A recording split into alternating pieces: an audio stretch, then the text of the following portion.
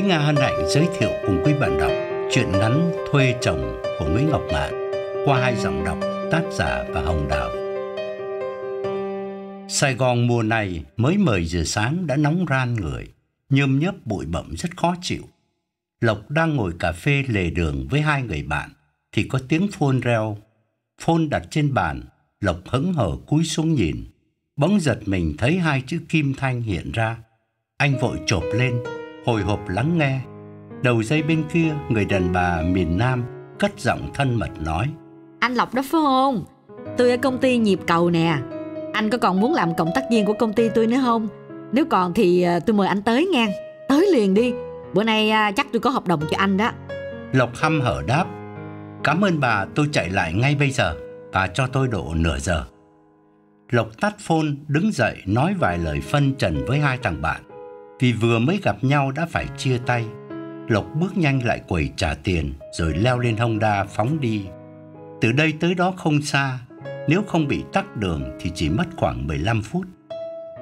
Nhịp cầu là công ty vừa thành lập cung cấp một dịch vụ mới mẻ, có thể coi là táo bạo, đó là cho thuê chồng. Họ đăng quảng cáo chính thức trên trang mạng cách đây vài tháng, có đoạn chính như sau. Quý bà, quý cô là phụ nữ độc thân, quá phụ hay đã ly dị, không thể tự làm một số công việc hàng ngày. Đừng lo, vì đã có dịch vụ cho thuê chồng của công ty nhịp cầu. Bên cạnh đó là cái thông báo tuyển dụng quý ông tuổi từ 18 trở lên, muốn làm chồng hãy mau mau đăng ký, biết đâu chả mở ra một khúc rẽ mới trong cuộc đời, hay ít ra là lao vào một cuộc phiêu lưu đầy thú vị. Quảng cáo tung ra được 2 tháng thì Lộc tìm đến lần đầu. Một người bạn phát hiện ra cái trang mạng quảng cáo ấy và chỉ cho Lộc. Trước mặt bạn bè, Lộc làm ra vẻ hứng hở, nhưng về nhà anh mở ra coi lại, rồi lặng lẽ mò đến mà dĩ nhiên không cho ai biết. Tại phòng đợi của công ty nhịp cầu, anh thấy có khá đông thanh niên tới ứng tuyển giống như anh. Đăng ký tên tuổi rồi ngồi chờ ở dãy ghế kỳ sát vách. Khách hàng phụ nữ có nhu cầu tìm chồng giả chắc cũng đông, nhưng chỉ những bà cần thuê chồng gấp mới đến thẳng đây còn phần đông ngại ra mặt công khai nên chỉ liên lạc với bà Thanh bằng phone hoặc qua email mà thôi. Lộc ghé công ty nhịp cầu hai ngày liền, không ký được cái hợp đồng nào, nghĩa là chẳng có bà nào mướn Lộc. Anh thấy ngượng cả với chính mình. Một thanh niên có cái ngại hình cao giáo, khỏe mạnh và trẻ trung, lại ăn nói rất lịch sự, mà tại sao không có bà nào đói hoài đến. Lộc ngồi ế ẩm suốt hai ngày, Bà Thanh, giám đốc công ty, nhìn Lộc tội nghiệp bảo. Hôm nay à, anh để lại cái số phone cho tôi đi. Có khách cái tôi kêu liền à. Nay mai thôi, chắc không lâu đâu. Rồi bà nửa đùa nửa thật nói. tôi nói thiệt nha, cỡ anh á, mấy bà muốn cưới làm chồng thiệt chứ đâu ai mướn làm chồng giả làm gì. Lộc nhìn bà cười buồn đáp. Làm chồng giả thì tôi làm, chứ làm chồng thật thì tôi phải tự tìm chứ đâu có để các bà tìm tôi. Bà Thanh gật đầu cười, bà chưa đến 40, nghĩa là hơn Lộc chỉ vài tuổi. Nhưng bề ngoài non cằn cỗi lắm. Đàn bà ở tuổi đó mà chưa có chồng, làm sao còn tươi mát được. Bà yêu đương cũng nhiều, nhưng duyên phận chưa đến, hoặc sẽ chẳng bao giờ đến nữa. Cho nên đêm ngày thui thủi vào ra một mình, bà mới nghĩ ra dịch vụ cho thuê chồng. Bởi bà biết Sài Gòn bây giờ thiếu gì những người đàn bà cô đơn giống như bà. Lộc ghi số phone đưa cho bà và toan quay ra cửa, thì vừa lúc ấy có một thiếu nữ bước vào. Lộc đứng khựng lại ngay rồi quay vô chỗ cũ. Lộc thấy vui hẳn lên, anh tin chắc người đàn bà trẻ này sẽ thuê anh, vì trong văn phòng lúc ấy chả có người đàn ông nào khác. Lộc nhẹ nhẹ kéo ghế ngồi xuống chỗ cũ, nhưng Lộc lầm người phụ nữ xinh đẹp ấy không phải là khách hàng của công ty nhịp cầu. Cô là một phóng viên độc lập, bút hiệu Tầm Xuân. Cô gốc người miền Bắc nhưng sinh ở trong Nam. Học xong đại học chả có việc gì làm, cô chuyển qua viết báo. Hiện công việc chính của cô là đi làm phóng sự xã hội, viết bài và chụp hình để cung cấp cho báo chí. Báo in cũng như báo mạng. Hôm nay Tầm Xuân đến đây do chính bà giám đốc mời trả tiền cho cô để cô phỏng vấn bà nhằm làm quảng cáo cho công ty mới mở. Cô đeo cái túi da màu đen, một tay cầm chai nước và tay kia là cái cell phone. Vừa thấy cô bước vào, bà Thanh đứng dậy đon đả chạy ra đón. Bà rất cần cô trong giai đoạn mới thành lập công ty. Bà làm bộ thân mật trách. Chà, sao không tới sớm để ăn sáng với chị? Tiệm hủ tiếu Thanh Long kế bên nè, ngon lắm. Tầm Xuân vui vẻ đáp. Vâng, em cũng tính tới sớm đấy chứ. Nhưng mà vừa ra với cửa thì lại có phone gọi em vào tờ báo. Hai người ngồi vào bàn, Lộc yên lặng đưa mắt tò mò theo dõi. Vừa lúc đó có người đàn ông cũng cỡ tuổi Lộc, tay cầm tờ tạp chí ung dung bước vào. Anh ta giơ tay chào bà Thanh và nói lớn: "Good morning bà chủ." Lộc chố mắt nhìn cái tác phong rất lạ của anh ta, lại càng lạ hơn vì anh ta chào bằng tiếng Anh. Bà Thanh gật đầu cười rồi làm hiệu bảo anh ta ngồi chờ vì cuộc phỏng vấn sắp bắt đầu. Anh ta ngồi xuống cái ghế bên cạnh, tự động quay sang chìa bàn tay và thân mật nói: "Tôi là Hiếu, Đoàn Hiếu." Lối xã giao không bình thường của Hiếu làm Lộc bị lôi cuốn ngay. Lộc cũng tự giới thiệu tên mình rồi ngồi sát bên nhau nói chuyện nho nhỏ. Hiếu có nét mặt từng trải, bụi đời và toát ra cái vẻ tự tin. Hiếu mặc quần jean, cái áo thun in chữ Lakers, tức là tên một đội bóng rổ nổi tiếng của Mỹ. Lộc lại càng chú ý đến Hiếu hơn vì trong câu chuyện thường đàm, Hiếu hay chen vào một hai chữ tiếng Anh. Không hiểu do quen miệng hay là cố ý biểu diễn vốn tiếng ngoại ngữ của mình. Lộc còn đang ngẫm nghĩ thì Hiếu bảo Ở bên Mỹ thì chả nói làm gì nhưng ở Việt Nam mà dám thành lập công ty cho thuê chồng, Thì phải khen là có đầu óc cách mạng. Lộc ngơ ngác hỏi, Ông qua Mỹ du lịch rồi hay sao mà ông biết? Hiếu nhấn mạnh, Tôi đâu có qua Mỹ du lịch. Tôi sống ở Mỹ gần 20 năm rồi, Mới về đây được mấy tháng. Lộc tròn mắt ngạc nhiên nhắc lại, Ông về chơi hay là định làm ăn bên này? Hiếu tỏ vẻ trầm ngâm nói, Chắc tôi về luôn. Ở bên ấy rắc rối quá. Cảnh sát cứ theo bám suốt. Lộc đưa mắt nhìn nét mặt tỉnh bơ của Hiếu, Tò mò hỏi thêm. Ông làm gì mà cảnh sát bám ông? Hiếu cười. Tôi ngồi tù 2 năm. Có điều tù bên ấy sướng chứ không như bên này. Cho học nghề, học chữ còn được trả lương nữa. Lộc không ngờ Hiếu nói chuyện đi tù như đi chơi. Nét mặt rất thản nhiên, Kể chuyện vào tù như khoe một thành tích. Lộc bạo dạn hỏi. Chắc tội nhẹ nên ông chỉ tù có 2 năm. Chứ nếu tội nặng thì giờ này ông đâu có ngồi đây với tôi. Hiếu gật đầu giải thích. Trường hợp của tôi thì không thể gọi là nặng được. Nói đúng ra thì không đáng gọi là tội. Có cướp của giết người gì đâu. Có làm hại đến ai đâu. Lộc ngắt lời. Vậy thì sao lại đi tù? Tôi tưởng bên Mỹ luật pháp người ta phân minh lắm chứ. Đâu có ai bị bắt oan bao giờ. Hiếu thản nhiên đáp. Tôi trồng cần sa, Rồi phân phối cần sa. Hôm đó tôi đang đứng bán ở trước cửa trường trung học Thì bị cảnh sát chìm bắt. Lộc nhíu mày cắt ngang. Ông bán cần sa cho học sinh. Hiếu nhấn mạnh Bán cho học sinh. Nhưng chỉ cấp 3 mới được mua. Cấp 2 trả bao nhiêu tiền tôi cũng không bán. Lộc phì cười. cấp 3 cấp 2 thì có khác gì nhau. Hiếu trợn mắt, Khác chứ. Ông quen đứa con gái 18 tuổi Ông ngủ với nó 100 lần cũng không sao. Nhưng ông ôm một đứa con gái 17 tuổi Ông đi tù ngay. Ông đâu có thể nói 17 hay 18 có khác gì nhau. Lộc gật cù đồng ý rồi hỏi Vậy là ông đi tù vì bán cần sa? Hiếu gật đầu Nhưng tôi được thả sớm vì hạnh kiểm tốt. Thả sớm nhưng tuần nào cũng phải trình diện probation officer. Giống như bên này, người ta gọi là cho về quản chế tại địa phương. Chán quá tôi bỏ về Việt Nam luôn. Nghe cách kể chuyện của Hiếu, thật sự Lộc không biết Hiếu nói thật hay nói đùa. Chẳng hiểu Hiếu có đi tù thật hay không, hay chỉ nói cho vui câu chuyện. Thậm chí Lộc còn thoáng nghĩ chưa chắc Hiếu đã sống ở Mỹ.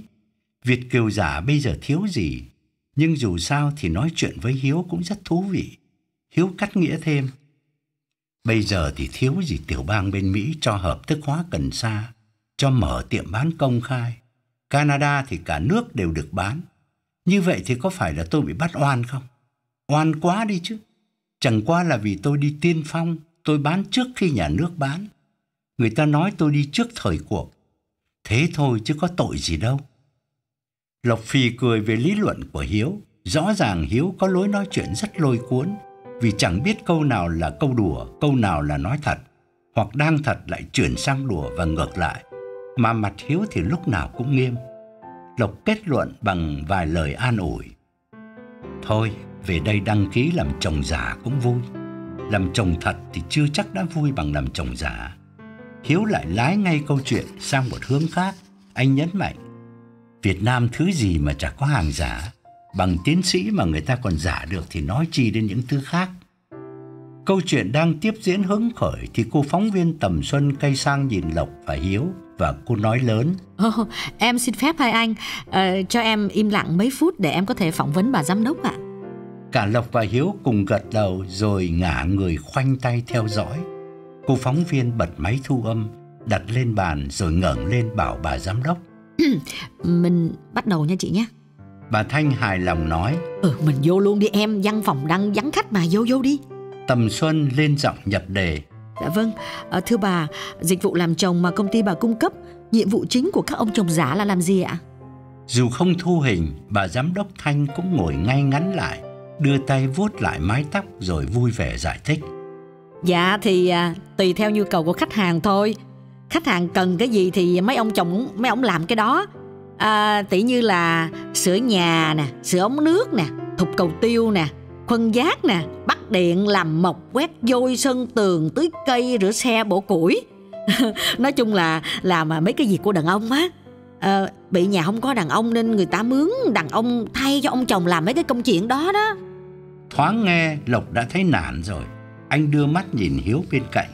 Cả hai cùng khẽ lắc đầu mỉm cười nhìn nhau chia sẻ.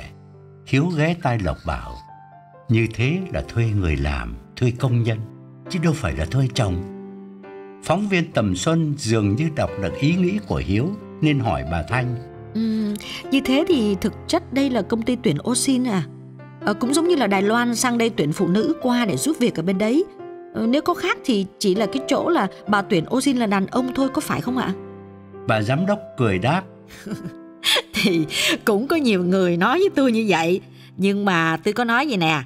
Nếu kêu là ô xin thì à, phải gọi là ô xin cao cấp hay là siêu ô xin mới đúng cô phóng viên đi sâu hơn hỏi thêm thế thì ờ, về tính cách pháp lý của dịch vụ này thì sao thưa bà đây là câu hỏi quan trọng mà chính bà thanh nhờ phóng viên gợi ý để bà trả lời bà nói dạ thì chúng tôi phải là tham khảo với công ty luật sư luật sư cho biết vậy nè thực sự đây chỉ là công ty cung cấp dịch vụ hay nhân sự giống như công ty cung cấp người mẫu rồi hay là cung cấp bảo vệ.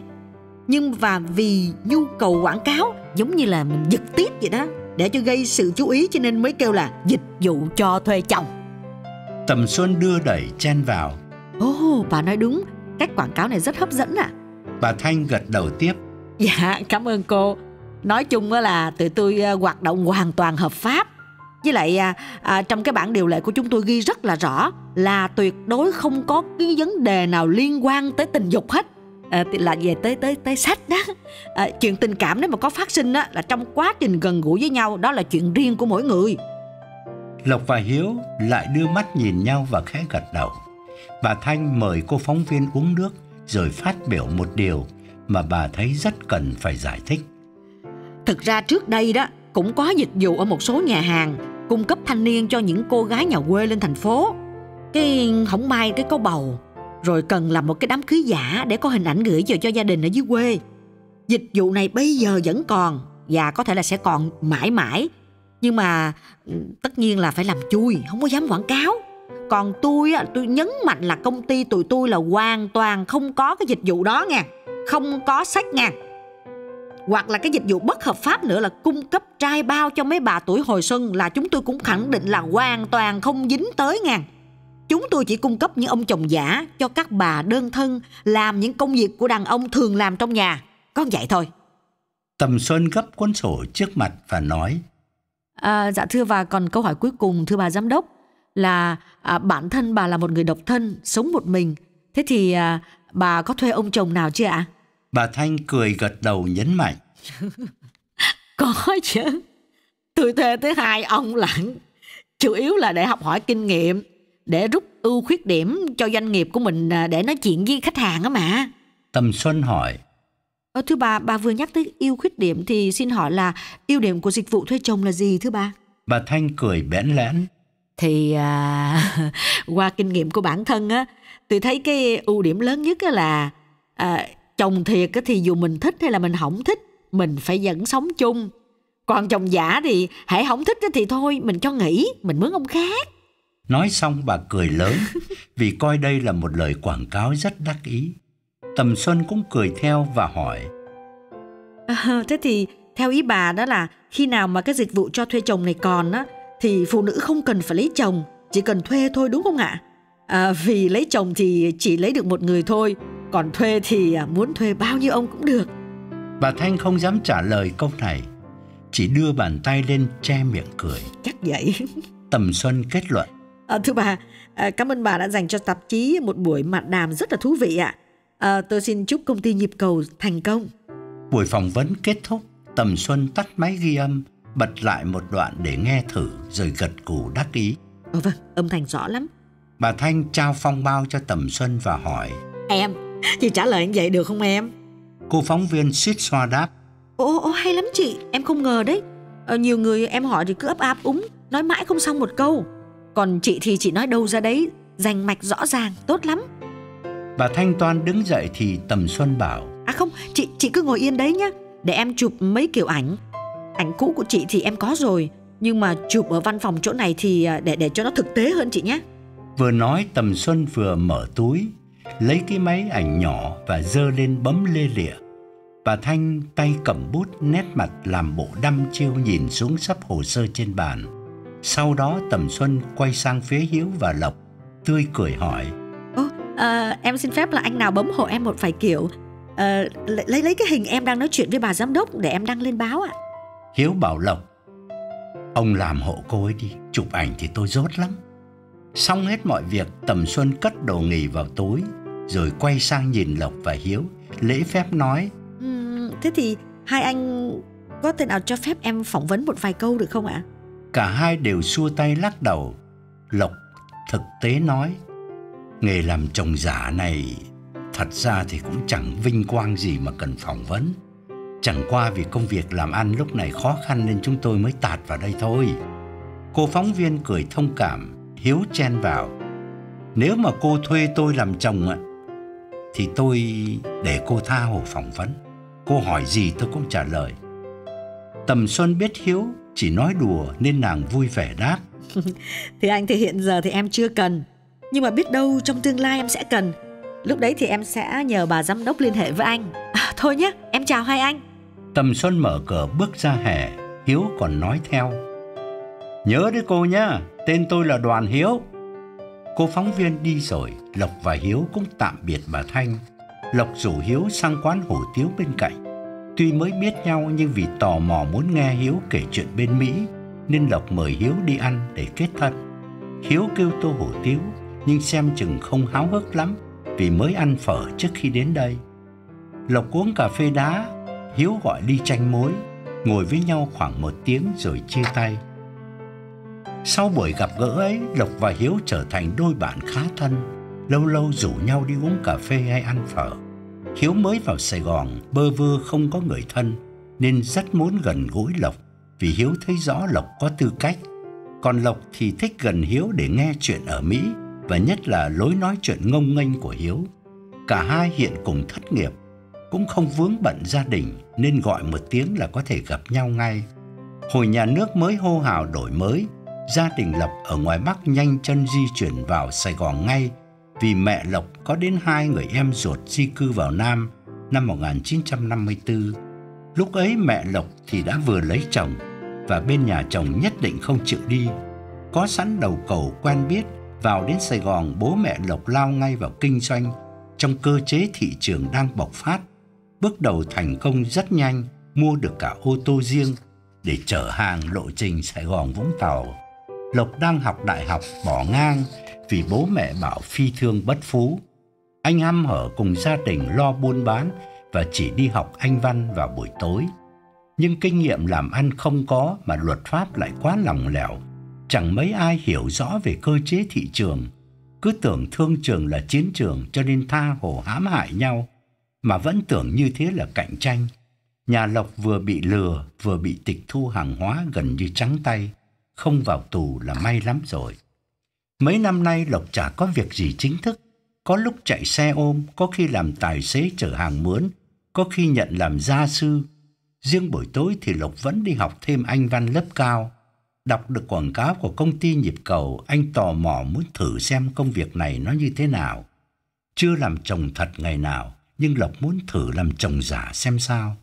Tuy nhiên, Lộc ghé hai ngày liền chả nhận được việc gì, nghĩa là chẳng có bà nào thuê anh làm chồng. Lộc đã có ý định bỏ cuộc, thì hôm nay bỗng bà Thanh lại gọi. Quá tam ba bận, anh mỉm cười tự nhủ và tìm đến một lần nữa xem thế nào.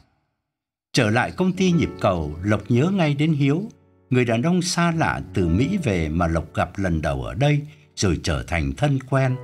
Cả hai tuần nay không gặp lại Hiếu, cũng không thấy Hiếu phone thì chắc là Hiếu đã nhận công tác của bà Thanh hoặc cũng có thể là Hiếu đã bỏ cuộc rồi. Văn phòng hôm nay vắng vẻ, chỉ có một phụ nữ đang ngồi nói chuyện với bà Thanh. Lộc đoán ngay là bà Thanh kêu anh đến vì người đàn bà này, nghĩa là bà này sắp thuê anh làm chồng. Lộc thất vọng định quay ra, nhưng bà Thanh đã nhìn thấy Lộc đưa tay vẫy và nói: "Ngồi ngồi ngồi chờ tôi một chút xíu đi, ngồi đó." Lộc đành miễn cưỡng bước vào, ngồi tạm xuống cái ghế trống ở góc phòng. Người đàn bà ngồi đối diện bà Thanh, thân hình vừa tròn vừa thấp, nước da ngăm đen và nổi bật nhất là khuôn mặt rất khó thương. Lộc khom người lấy tờ tạp chí đọc lướt qua vài cái tựa đáng chú ý. Vài phút sau, người đàn bà đứng dậy và bảo bà Thanh. Vậy ha, sáng mai chị nói ổng tới tôi sớm sớm một chút nha. Bà chị bộ chị mà chị nói ông ăn cái gì trước đi, rồi qua tôi, chứ bên tôi là không có cái gì ăn đâu à nha. Bà Thanh yêu tư hỏi. Trời đất ơi chị mướn người ta uh, Phải mướn thêm người phụ ổng chứ. Phá nguyên căn bếp mà Rồi chở gạch đá đem đi đổ. Mình ổng làm cực quá à. Nè chị nhớ đây là dịch vụ cho thuê chồng Chứ không phải uh, thuê công nhân đâu mà nghe Bà khách trợn mắt nhấn mạnh. Nè tôi nói cho nghe nghe Cái ông chồng cũ của tôi á Ông làm còn cực hơn nhiều nữa đó. Bởi vậy cho nên bây giờ ổng chết rồi đó. Tôi mới thấy thương ổng á Lộc nghe đã thấy lạnh người toan bỏ đi thì bà khách đã chìa tay ra để chào bà Thanh. Bà Thanh tiễn khách ra cửa rồi quay vô để tiếp Lộc. Lộc nói ngay. Nghe nói đã thấy ớn rồi, người gì mà tính kỹ quá, tiếc cả bữa ăn. Tôi không thể làm chồng bà đó được. Bà Thanh cười. anh đừng lo, bà không có mướn anh đâu. Cỡ anh á, bà chỉ yếu xìu, đâu có làm nổi mấy cái công chuyện của bà. Rồi bà vui vẻ bảo Lộc. Bữa nay tôi kêu anh là gì? Tôi có mối cho anh rồi. Không ai nỡ bắt anh phá nhà đâu mà lo. Vừa nói bà vừa hân hoan pha cà phê cho Lộc. Bà pha cà phê cho Lộc thì chắc là bà phải có tin vui. Vì bình thường bà có pha cà phê cho ai đâu. Bà bưng tách cà phê lại đặt trước mặt Lộc rồi bảo. Anh ngồi chờ một chút nha. Có người tới gặp anh liền bây giờ đó. Sáng giờ kêu tôi hai lần rồi đó. Ngồi chờ chút nha Tuy không nói ra nhưng bà thấy tội nghiệp Lộc trước đây ghé công ty bà hai ngày liền mà không được bà nào nhận. Lần này thì hoàn toàn khác. Một phụ nữ Hà Nội đòi bà Thanh cung cấp một ông chồng già, nhưng điều kiện tiên quyết phải là giai Bắc mới thuê. Bà Thanh nghĩ ngay tới Lộc và phone cho anh. Lộc ngồi một lúc thì quả nhiên có người phụ nữ bước vào. Lộc giật mình ngây người theo dõi. Nàng ăn mặc lịch sự, quần tây màu đậm ống nhỏ, áo sơ mi trắng, dáng điệu trẻ trung đài cát, sách móp và đeo kiếng mát hàng hiệu. Bà Thanh đứng dậy đón khách quý, chỉ cái ghế đối diện mời khách ngồi rồi quay sang nhìn Lộc, gật đầu nói: "Anh Lộc, mời anh qua đây." Thái độ xum xoe của bà Thanh cho phép Lộc hiểu rằng người khách mới này hẳn phải là một đại gia mà bà Thanh rất trân trọng. Lộc đứng dậy, khẽ gật đầu chào người phụ nữ. Người đàn bà gỡ mắt kiếng gật đầu chào lại. Lộc rón rác ngồi xuống cái ghế bên cạnh. Bà Thanh dịu dàng bảo Lộc. À, tôi xin giới thiệu nghe đây là cô Cẩm Tú, mà phải kêu là bà mới chuẩn, bà chủ lớn.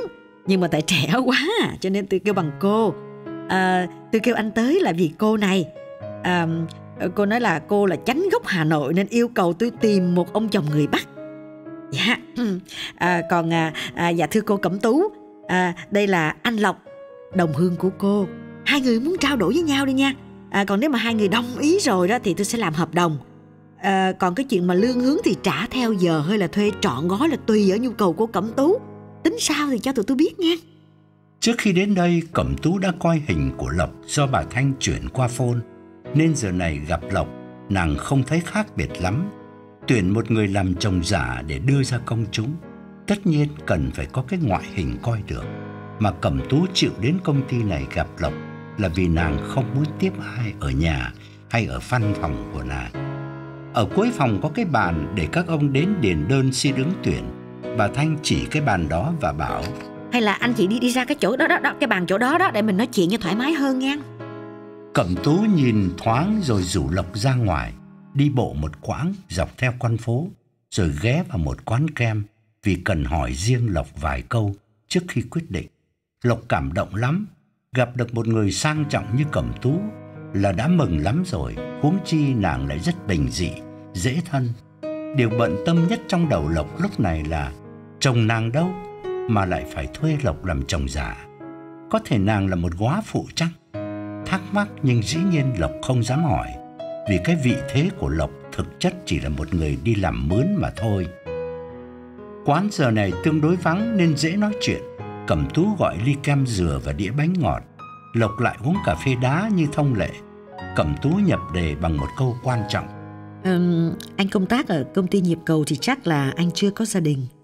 Ờ, à, tôi thuê anh, tôi không muốn xảy ra chuyện gì lôi thôi. À, chẳng hạn như là anh đang đi công tác với tôi, tự dưng lại có bà nào xông vào nhận làm vợ thì phiền cho tôi lắm.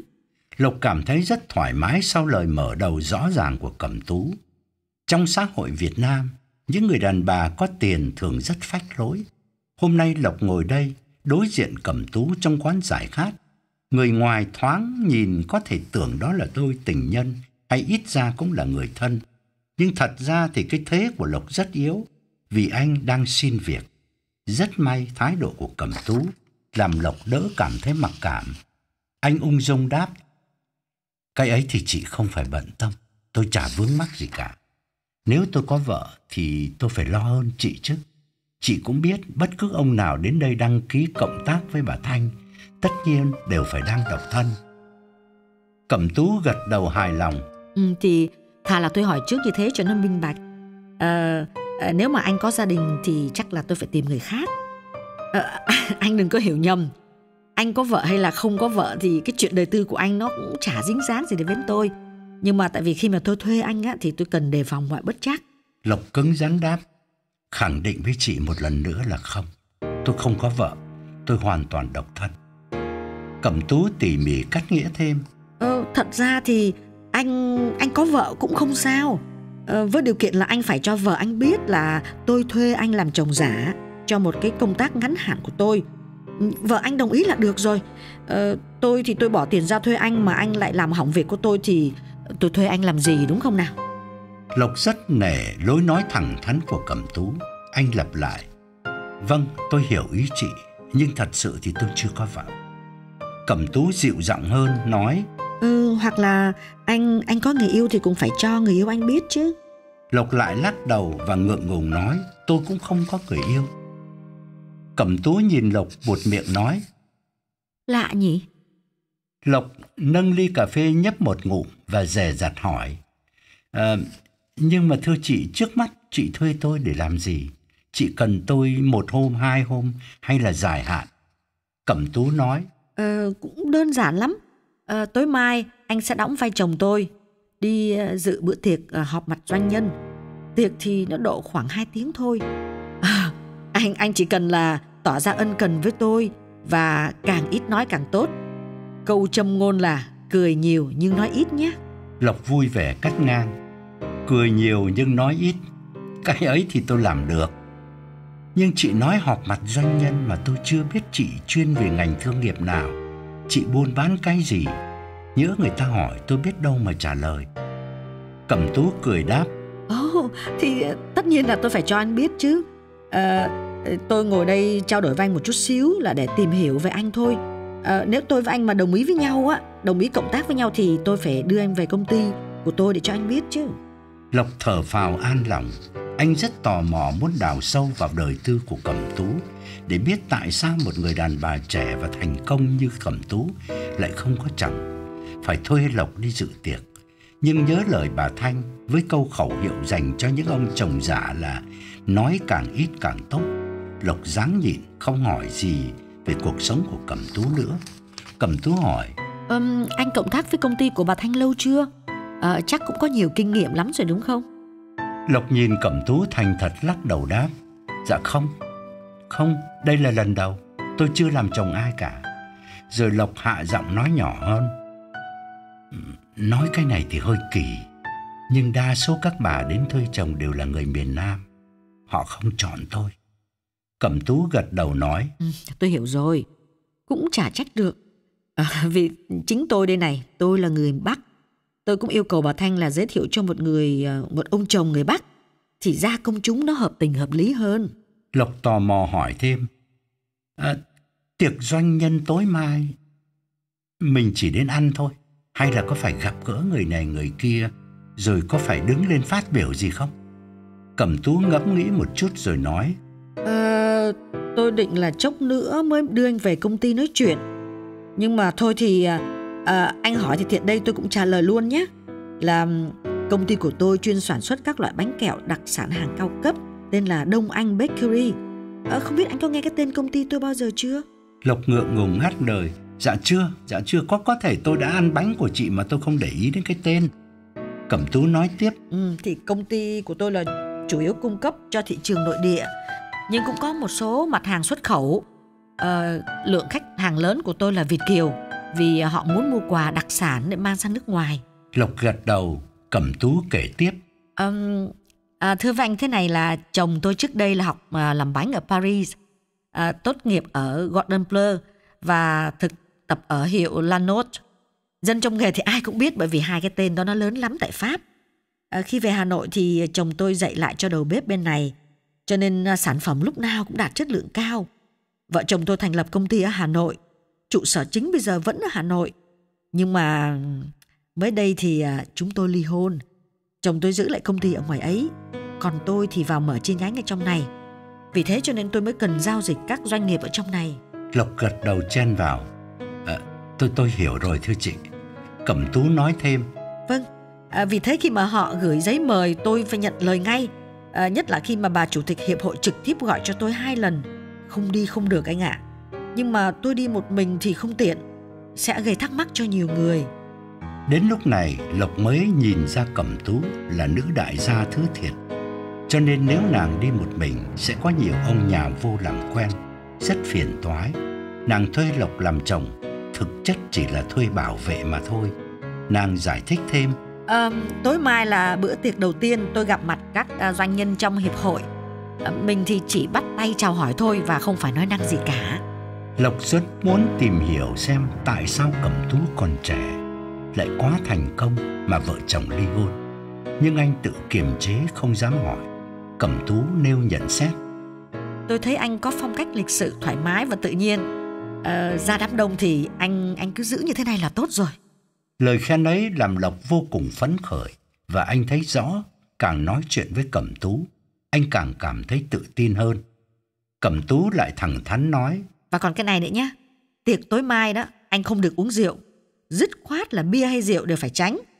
Tôi thì tôi sợ anh say không kiểm soát được rồi đi quá đà, hỏng việc của tôi. Lộc gật đầu nhất trí. Chị lo xa như thế cũng phải, nhưng uh, xin chị cứ yên tâm, lúc nào tôi cũng tôn trọng chị. Cẩm tú lo xa là đúng, trước đám đông trên danh nghĩa thì Lộc là chồng nàng. Rủi Lộc giả vờ say, giờ trò sàm sỡ lố lăng ôm ấp cẩm tú công khai, thì nàng cũng đành phải chịu chứ biết làm sao. Hai người trao đổi số phone rồi Cẩm Tú đưa cho Lộc tấm danh thiếp của công ty và dặn. Rồi, chiều mai 5 giờ, anh đến công ty, mặc quần áo sẵn, rồi à, tôi với anh đi dự tiệc. Sẽ có xe của công ty đưa đi. À, còn bây giờ thì mình quay lại để ký hợp đồng và đưa tiền cho bà Thanh nhé. Hôm sau, Lộc và Cẩm Tú hân hoan đến dự tiệc. Cả hai ăn mặc rất tề chỉnh như đi ăn đám cưới. Lộc chỉ có mỗi một bộ com lê màu đậm, đem đi giặt ủi thì không kịp. Anh tự tay phủi bụi kỹ lưỡng, rồi treo lên từ tối hôm qua, áo sơ mi trắng, tự tay anh giặt và ủi thẳng tắp. Cả cái cà vạt màu xanh dương lấm tấm hoa vàng làm nổi bật bộ đồ lớn của Lộc. Cẩm tú dặn Lộc có mặt lúc 5 giờ, nhưng anh rất cẩn thận, đến trước cả nửa tiếng và vào ngồi ở phòng khách của công ty. Một lúc sau tài xế đưa Cẩm tú đến bằng chiếc Mercedes màu bạc vốn là xe riêng của nàng. Vừa thấy nàng xuống xe ngoài sân, Lộc vội đứng dậy đi nhanh ra đón.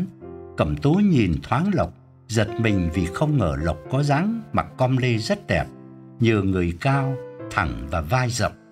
Hôm qua gặp Lộc lần đầu, anh chỉ mặc có mỗi cái quần tây cũ và cái áo sơ mi ngắn tay mùa hè.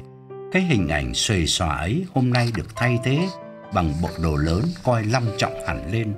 Cẩm Tú hài lòng hỏi: "Anh chờ tôi lâu chưa?"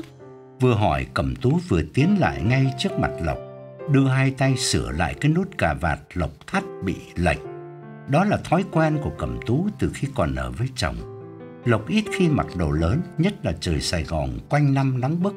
Bộ com lê này anh chỉ dùng khi đi ăn cưới hoặc phù rể. Anh đứng trên hiên, ngượng nghịu thọc tay vào túi quần và nói: "Dạ, tôi cũng vừa mới đến." Cẩm Tú đi nhanh vào văn phòng riêng để lấy gói quà tặng bà Huỳnh Kim Lang, chủ tịch hiệp hội, là người đã hai lần gọi phone cho Cẩm Tú dù chưa gặp mặt bao giờ. Bà chủ tịch ân cần mời Cẩm Tú nhập hội vì thực chất đây là hiệp hội nữ doanh nhân đầu tiên của thành phố mà bà hãnh diện đứng ra thành lập và mong nó phát triển rất nhanh.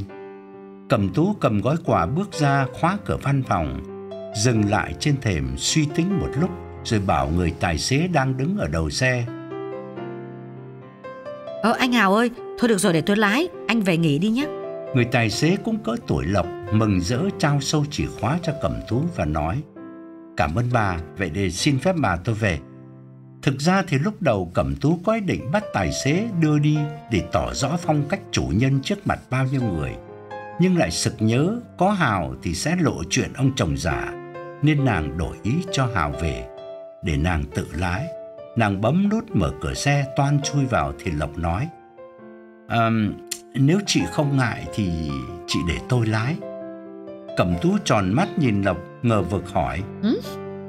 Anh mà lái được thì tốt quá Nhưng mà anh có bằng lái hợp lệ không đó Lộc cười nhấn mạnh Bằng lái xe tải tôi còn có chứ nói gì đến cái xe con con này Chị yên tâm lên xe đi Xe của chị thuộc loại xịn Tôi sẽ lái cẩn thận hơn để chị lái tôi ngồi bên cạnh tôi thấy ngượng lắm. Vừa nói, Lộc vờ mở cửa xe cho Cẩm Tú. Cẩm Tú gật đầu đồng ý ngay với nhận xét của Lộc. Tự nhận là vợ chồng mà chồng không lái xe, để vợ lái thì kỳ cục thật. Cẩm Tú chui vào xe và vui vẻ bảo: thuê một người như anh làm chồng kể ra thì cũng dùng được rất nhiều việc." Lộc mở máy xe và bạo dạn nói: "Cảm ơn chị, được đi bên cạnh chị là tôi cảm thấy hãnh diện lắm rồi." Cẩm tú chớp mắt không nói gì thêm nữa, Lộc cho xe từ từ lăn bánh ra đường chính. Nửa tiếng sau, Cẩm tú và Lộc đến địa điểm, bãi đậu xe trước hội quán đã gần kín. Vì là buổi tiệc của hiệp hội doanh nhân nên tất cả các hội viên đều đến bằng ô tô, dù rằng có người phải thuê chứ không có xe riêng. Tất cả đều là chủ công ty, nhưng hoàn cảnh mỗi công ty mỗi khác. Có người đang phát triển mạnh, cũng có người đang trên đà phá sản nhưng đêm nay họp mặt thì ai ai cũng phải cố để lộ ra cái nét thanh lịch của những người đang thành công. Cẩm Tú nắm tay Lộc bước vào đại sảnh, nụ cười lúc nào cũng nở trên môi. Lộc bắt tay kháng khít tất cả mọi người, nhưng chỉ gật đầu chào tránh nói chuyện. Cô tiếp viên hướng dẫn hai người vào bàn của mình, và khi cô MC trên sân khấu sướng danh, bà Vũ Thị Cẩm Tú và phu quân thì cả hai đứng dậy cúi đầu chào tứ phía, rồi Lộc ngồi xuống, rước nước ngọt cho Cẩm Tú và quay sang nói chuyện với cặp vợ chồng ngồi bên cạnh. Dĩ nhiên anh giữ đúng nguyên tắc, không gợi chuyện, nghĩa là chỉ có những chuyện xã giao mưa nắng mà thôi. Còn về nghiệp vụ chuyên môn thì Lộc để Cẩm Tú nói. Cẩm Tú nhìn Lộc gật đầu tỏ ý hài lòng về thái độ chừng mực của Lộc. Anh luôn tự nhắc mình là phải tạo niềm tin cho Cẩm Tú thì trong tương lai mới hy vọng được nàng tiếp tục giao việc.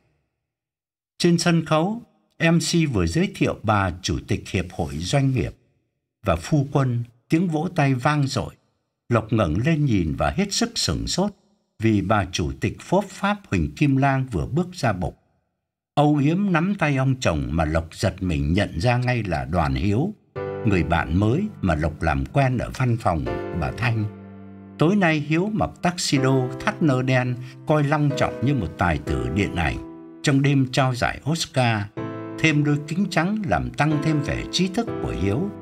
Sau lưng Lộc có những tiếng trầm trồ bày tỏ lòng ngưỡng mộ đối với vợ chồng chủ tịch hiệp hội. Một bà miền Nam nói: Trời ơi, ổng du học cả chục năm ở bên Mỹ á.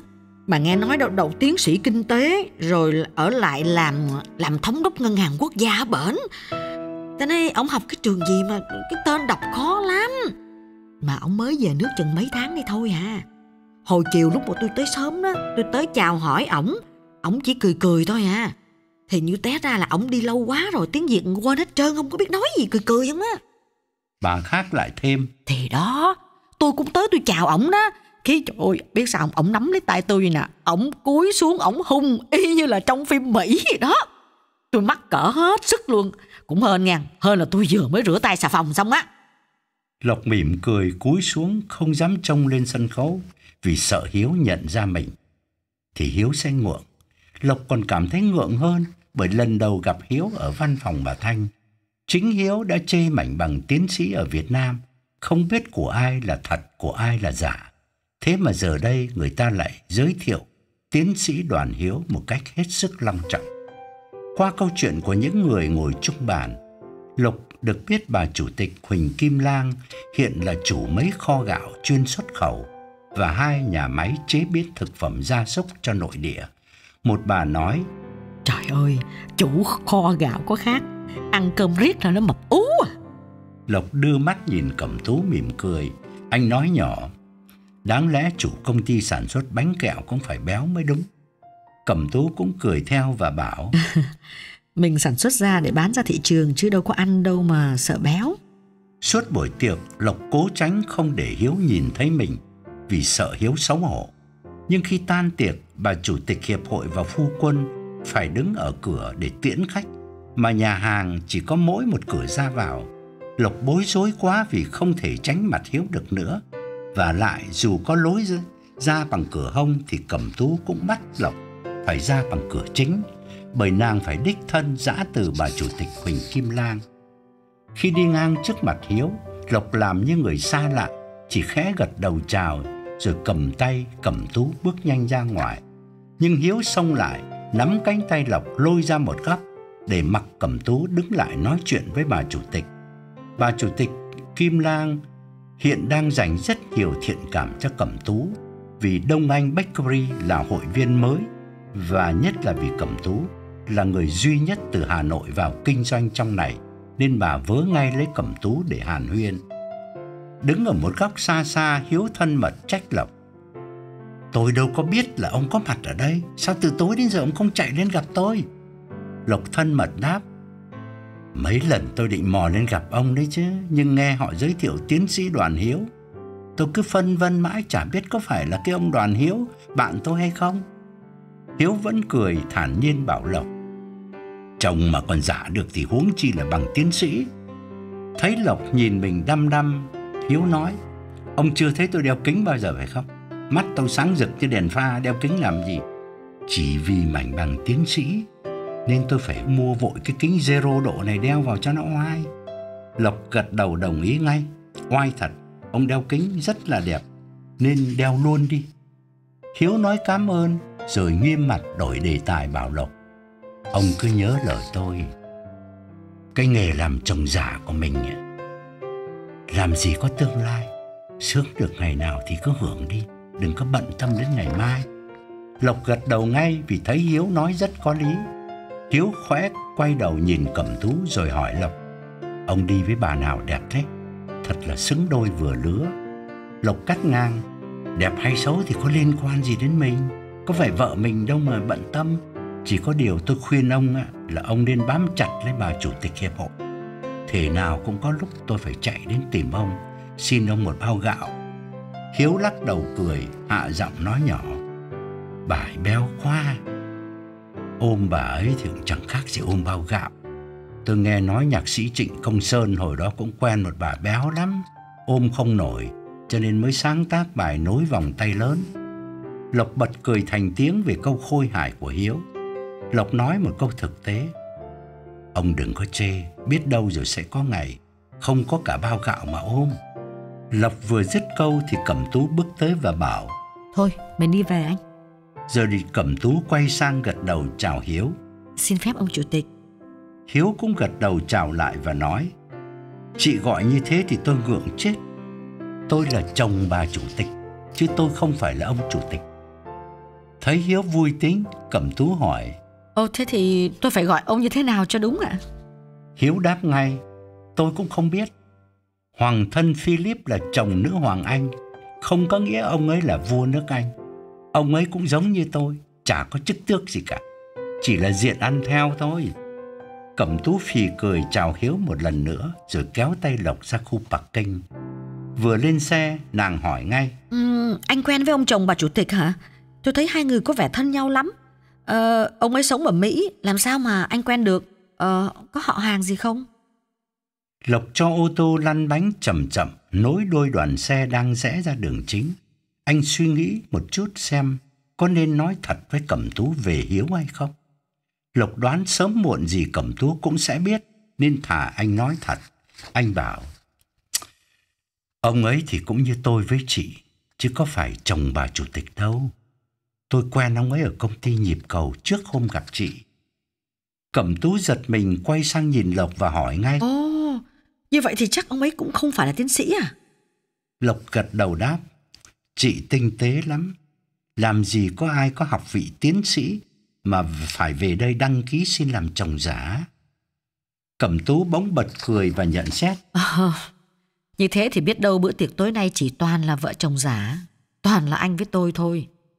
Lộc trầm ngâm nói. Chắc không đâu chị. Đâu phải ai cũng gặp hoàn cảnh như chị. Tôi nghe các bà ngồi bên cạnh bảo bà chủ tịch Huỳnh Kim Lang cũng mới ly hôn. Làm chủ tịch hiệp hội, ra mắt công chúng, bà ấy không muốn đi một mình, cũng giống như chị, nên mới nhờ công ty nhịp cầu giới thiệu ông Hiếu. Cẩm tú ngắt lời. Ừ, cũng may là ông ấy non cũng sáng sủa lắm, à, phong cách rất là trí thức, cho nên chả có ai nghi ngờ. Lộc phân trần dùm Hiếu. Ông ấy từng sống ở Mỹ gần 20 năm chị. Điều ấy là có thật Mới về nước đây thôi Lộc không muốn nhắc đến việc Hiếu từng bị đi tù Mà Cẩm Tú cũng không hỏi thêm về Hiếu nữa Nàng chỉ nhận xét ờ, Sống ở nước ngoài lâu năm có khác Nom ông ấy rất là phong độ Im lặng một chút Bỗng Cẩm Tú nói Nhưng mà một người từng sống ở Mỹ gần 20 năm Về nước chả nhẽ không tìm được cái việc gì làm hay sao Mà lại đăng ký làm trông giả Ờ, có thật ông ấy ở Mỹ 20 năm không? Hay là cái thông tin ấy thì cũng giả luôn? Lộc phân trần dùng Hiếu. Ông Hiếu trước đây sống ở Mỹ là chuyện hoàn toàn có thật. Riêng bằng tiến sĩ thì tôi không biết chắc. Cẩm tú phì cười. Thế dĩ nhiên là làm gì có. Đỗ tiến sĩ ở Mỹ. Chả nhẽ về thất nghiệp rồi về đi làm thuê cho công ty nhịp cầu của bà Thanh à? Cẩm tú sợ Lộc hiểu lầm, vội quay nhìn Lộc và phân trần thêm. À, không phải, à, không phải là tôi coi thường tất cả những người công tác ở công ty của bà Thanh. Ý tôi chỉ muốn nói là có bằng tiến sĩ ở Mỹ, về đây thì thiếu gì việc nhàn hạ mà thu nhập lại cao. Im lặng một chút, Lộc nghiêm trang nói. Chuyện ông Hiếu làm chồng giả, chỉ mình tôi biết, bây giờ có thêm chị. Chuyện ông Hiếu là tiến sĩ giả, cũng chỉ mình tôi với chị biết. Thôi thì mình cứ giữ kín trong lòng như một câu chuyện vui. Cẩm tú quay nhìn Lộc gật đầu. Uh-huh. Tôi hiểu ý anh chứ. Uh, dù sao thì đối với ông Hiếu, anh cũng là một người bạn tốt. Ngừng một chút, bỗng Cẩm tú bật cười bảo. Nhưng mà ông Hiếu nói chuyện rất là có duyên. Thế mà mấy bà ngồi chung bàn ờ, với mình thì cứ bảo là ông ấy sống ở Mỹ lâu rồi, quên hết tiếng Việt. À, anh có nhớ không? Hóa ra là ông ấy giả vờ quên. Lộc phân trần dùm bạn Tôi đoán là bà chủ tịch dặn ông ấy không được nói chuyện nhiều Sợ sơ hở Người ta sẽ viết Phát hiện ra là ông ấy là chồng giả Cho nên thà giả vờ quên tiếng Việt. Cẩm tú gật đầu. Anh nói đúng đấy. Thì chính tôi cũng dặn anh như thế mà. Cười nhiều nhưng nói ít. Xe về đến tư thất của Cẩm Tú Nàng trả tiền Bịn dịn nói vài lời cảm ơn Rồi chia tay Lộc Nàng bảo ừ, Cảm ơn anh. À, Tôi lưu cái số của anh ở đây rồi nhé à, Khi nào cần thì tôi sẽ gọi. Không không cần phải qua trung gian của bà Thanh nữa Nghỉ khoảng 10 ngày rồi Lộc lại mò đến công ty nhịp cầu. Lộc đến một phần vì sau khi chia tay Cẩm Tú rồi, anh cứ thấy nhớ Nhung, chỉ mong có cơ hội gặp lại nàng. Biết nhà nàng, biết địa chỉ công ty của nàng, nhưng Lộc chẳng có cớ gì để tìm đến.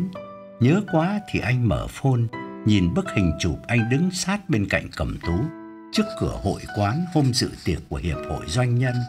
Bức hình ấy anh lấy từ trang mạng của Hiệp hội Doanh nhân, lưu lại trong phone của mình vì nó là một kỷ niệm lớn trong đời. Hôm nay anh quay lại đây tìm lại chút niềm vui dĩ vãng cho đỡ buồn, hoặc may ra lại gặp được người đàn bà nào khác lịch sự giống như Cẩm Tú thuê anh làm chồng già thì cũng lại là một niềm vui mới. Gặp lại Lộc, bà Thanh ngạc nhiên hỏi: "Ủa? Hết việc rồi hả? Cô Cẩm Tú hết mướn rồi hả?" Lộc gật đầu đáp bằng giọng nuối tiếc. À, hết ngày hôm đó kìa. Bà ấy chỉ thuê tôi có một tối thôi. Bây giờ nhờ bà lại kiếm tôi một à, mối mới được đi. Lý tưởng nhất là tôi được một người như bà Cẩm Túy thuê. Ăn ngon mặc đẹp mà chả phải làm việc gì cả.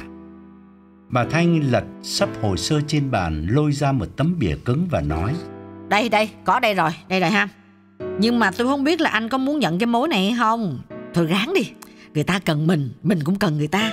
Chứ về nhà ngồi không làm gì ha Rồi bà mở computer và nói. Đây nè, đây nè. Có cái bà này nè Cũng còn trẻ. Không biết là chồng chết hay là ly hôn nữa. Hồi hôm tới nhờ tôi kiếm cho bà một ông chồng. À, Hợp đồng ký 3 ngày. Lộc tò mò cắt ngang.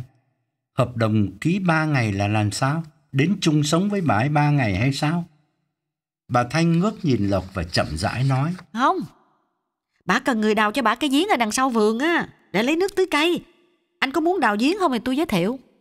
Lộc bồn rủn chân tay kêu lên. Dẹp đi bà ơi, từ cha sinh mẹ đẻ đến giờ tôi chưa cầm tới cái cuốc cái sẻng chứ nói gì đến đào giếng. Thôi, chừng nào có mối khác thì bà kêu tôi. Bà Thanh xếp lại chồng hồ sơ và bảo Lộc. Anh mà chờ người ta tới mướn để đi dự tiệc với bà Cẩm Tú chắc không có đâu. Tìm việc mà sao mà kém quá. Lộc thở dài toan đứng dậy ra về thì bà Thanh hỏi. Uống cà phê không? Tôi pha cho anh ly. Ghiền cà phê đá phải không? Vừa nói và vừa đứng dậy quay vào quầy giống như cái quầy bếp ngay sau bàn làm việc của bà. Ở đó có đủ máy pha cà phê, bình nấu trà và tủ lạnh làm đá. Bữa nay vắng khách Ngồi mình cũng buồn nên bà giữ Lộc lại nói chuyện. Bà khoáng ly cà phê cho Lộc, đặt trước mặt anh và vui vẻ kể. Bà Kim Lan á, chủ tịch hiệp hội doanh nhân, bà vừa mới gọi điện thoại bà cảm ơn tôi nè. Bà dừng lại nhìn Lộc, hãnh diện vì bản tin mà bà coi là rất quan trọng. Lộc tò mò hỏi, bà làm gì mà chủ tịch hiệp hội doanh nhân cảm ơn bà?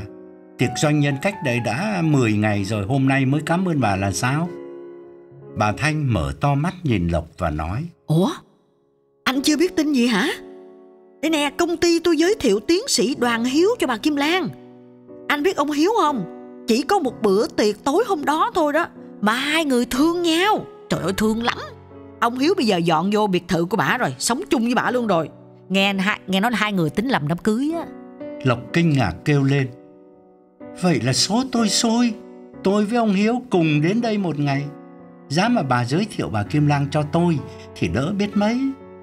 Bà Thanh lắc đầu nhẹ nhẹ và thành thật đáp. Cũng chưa chắc đâu. Nói ra thì kỳ nha. Đừng mít lòng nha, anh đừng buồn à. Nhưng mà bà Kim Lan bà là chủ tịch hiệp hội. Tức là bà cần phải có một người chồng trí thức. Ông Đoàn Hiếu, ông đậu tiến sĩ. Ông là tiến sĩ ở Mỹ về. Bà mới ưng. Chứ người khác khó vô bà lắm. Lộc nén tiếng thở dài tò mò hỏi bà ấy đã có chồng lần nào chưa? Bà Thanh Phì cười đáp. Bà làm chủ mấy kho gạo, hai nhà máy chế biến thực phẩm gia súc, hai cái biệt thự lớn, đi xe Rolls Royce, làm sao mà không có chồng? Nếu bà lấy ông Hiếu thì ổng đã là là người thứ người thứ tư rồi. Rồi bà chúi đầu về phía Lộc hạ giọng nhỏ xuống. Bà nè, Nghe nói ông nào lấy bả cũng nhắm là kiếm chút vốn rồi chia tay Họ nói bả mập quá Lộc cắt ngang.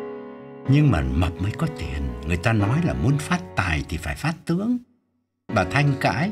Trời đất ơi bà Cẩm Tú á Bà đâu có mập đâu mà bà cũng giàu lắm á Đại gia. Lộc thở dài rồi cay đắng nói.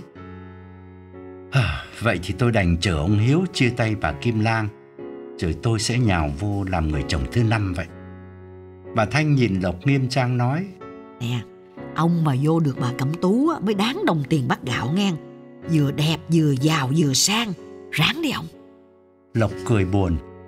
Vô được bà Kim Lang á, thì quanh năm có cơm ăn.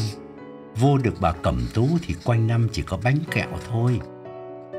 Nhưng mà tôi nói chơi thôi Chứ tính tôi thực tế tôi không có leo trèo.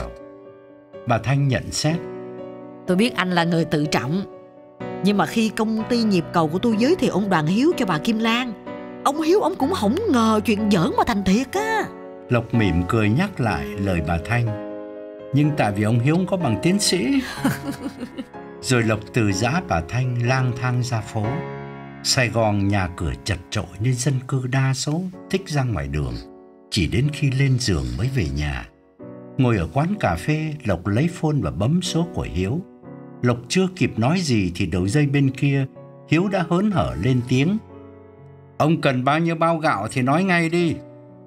Lộc cười sảng khoái rồi bảo, Nghe nói ông sắp tổ chức đám cưới, Có mời tôi hay không để tôi còn chuẩn bị tiền mừng?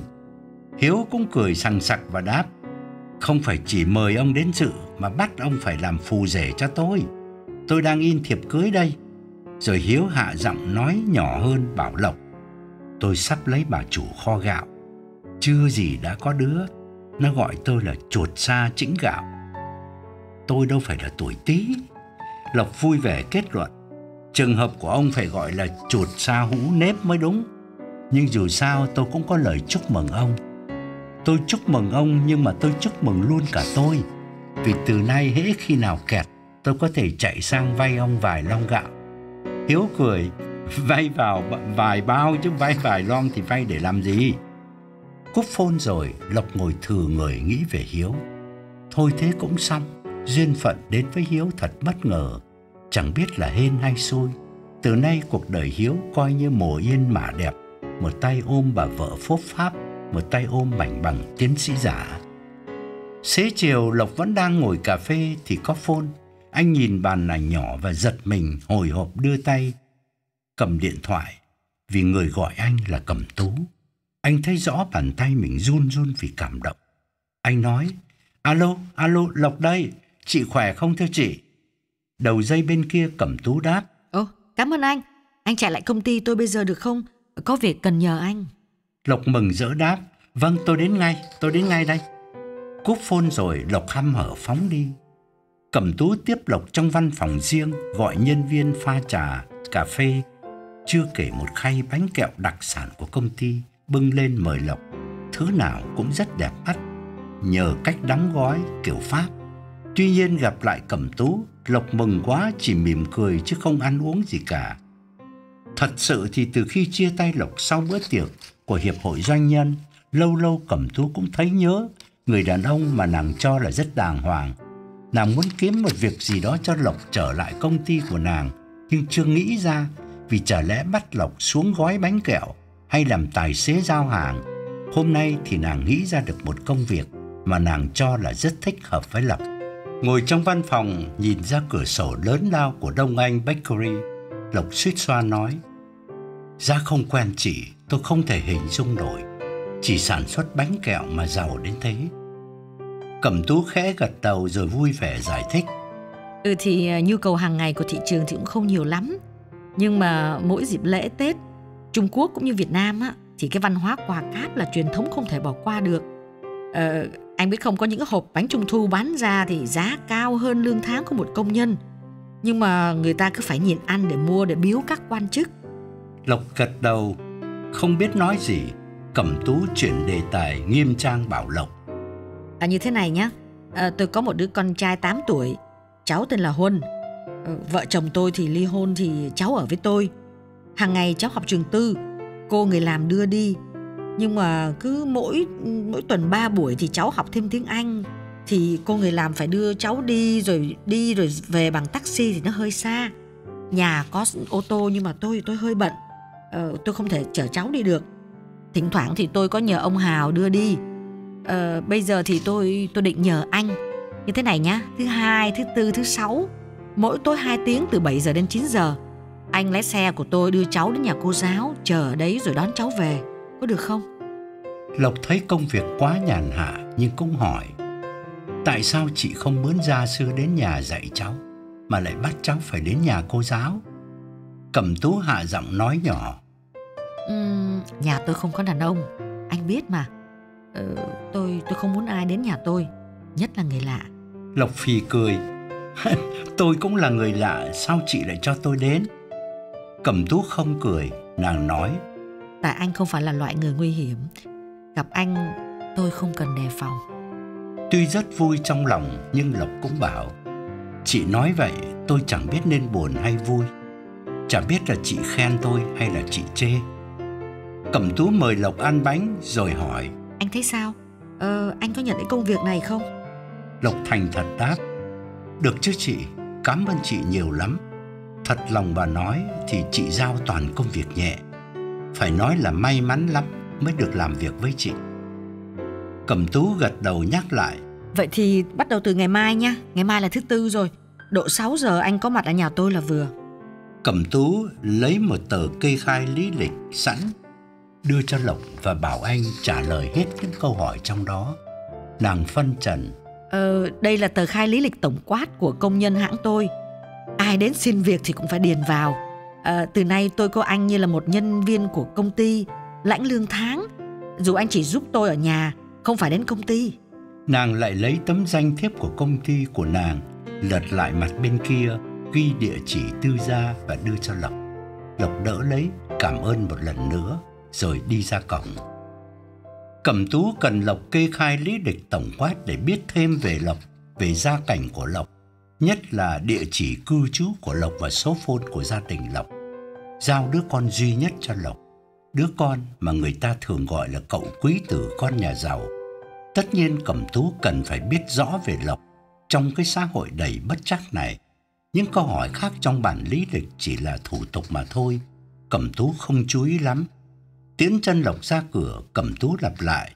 Vậy chiều mai anh đến nha, 6 giờ là vừa. Toàn chia tay, Lộc sực nhớ ra một chuyện vui.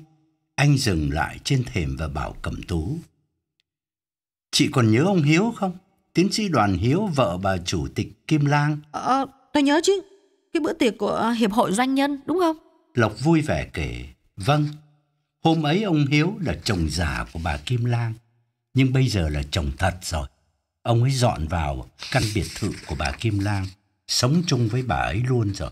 Hai người sắp tổ chức đám cưới. Cẩm tú mỉm cười hỏi lại Lộc. Tin đó, theo anh thì là tin vui hay tin buồn? Ý tôi muốn nói là nếu lấy nhau rồi bà Kim Lan phát hiện ra ông Hiếu chỉ là tiến sĩ giả thì đó đâu phải là tin vui. Rồi nàng xua tay nói tiếp. À thôi, thôi thôi thôi, đấy là chuyện của người ta. Lộc gật đầu nhất trí chào Cẩm Tú và ra về. Lộc đi rồi Cẩm Tú mới chợt nảy ra một câu hỏi trong đầu. Lộc kể chuyện ông Hiếu đang là chồng giả trở thành chồng thật của bà Kim Lang nhằm mục đích gì?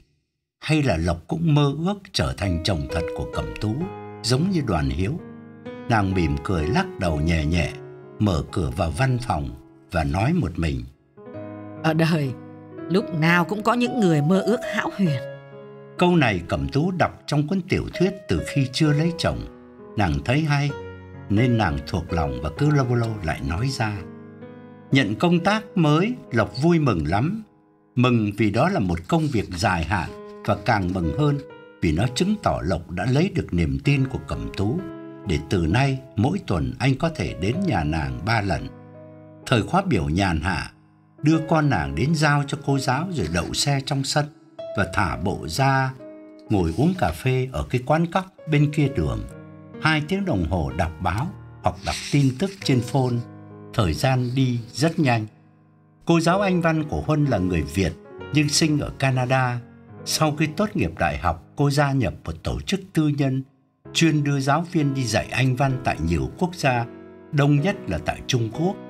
Mỗi lớp học nhỏ chỉ khoảng 10 học sinh dành cho con nhà giàu bằng phương pháp sư phạm tân tiến, kết quả rất khả quan. Lộc cũng từng chuyên chú học Anh văn nhiều năm, nhưng lối học cổ điển nặng về văn phạm, về chữ nghĩa, chủ yếu để đọc sách hay đọc báo. Còn lớp trẻ con như con của Cẩm Tú thì nặng về đàm thoại, cho nên Lộc biết chữ nhiều mà nói năng thì lại khó khăn.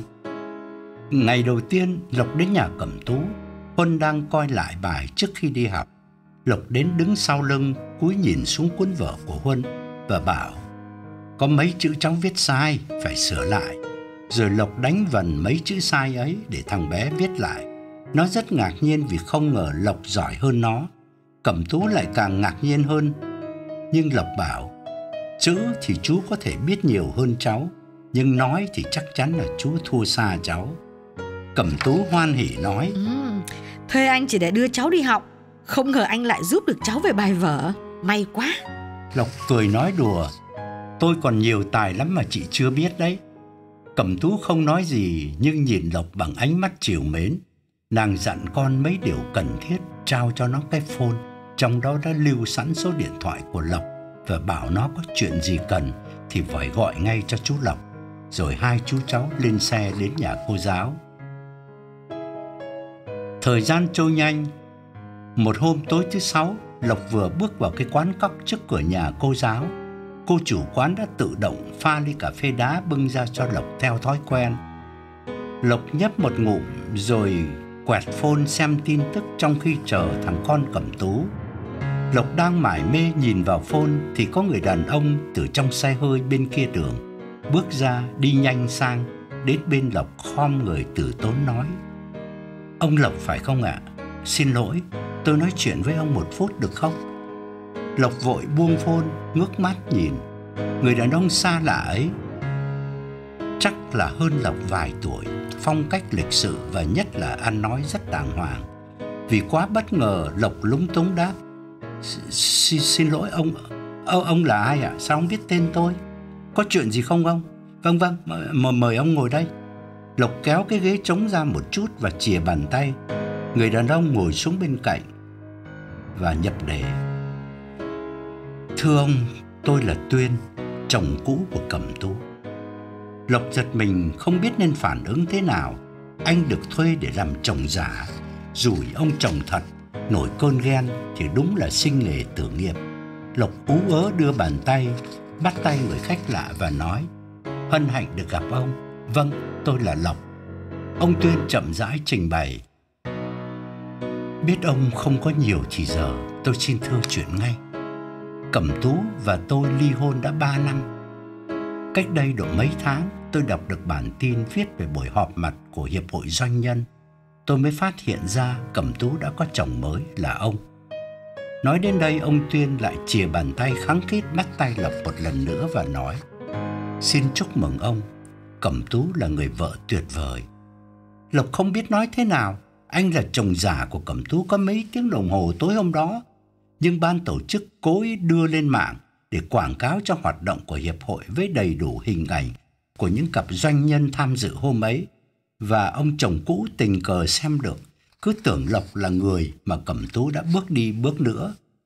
Thấy ông Tuyên nói chuyện một cách hết sức điềm đạm, Lộc bớt hẳn mói lo lắng, dù anh không thể cải chính anh chỉ là chồng già của Cẩm Tú và cũng chỉ là chồng trong bữa tiệc ngắn ngủi đó mà thôi.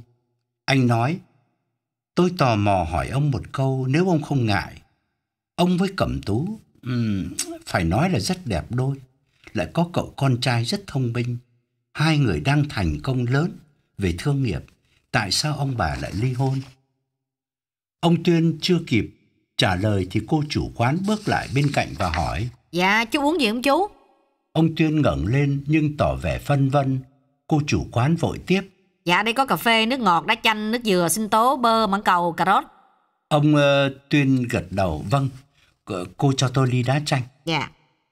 Chủ quán đi rồi, ông Tuyên cúi đầu buồn rầu nói. Lỗi hoàn toàn tại tôi.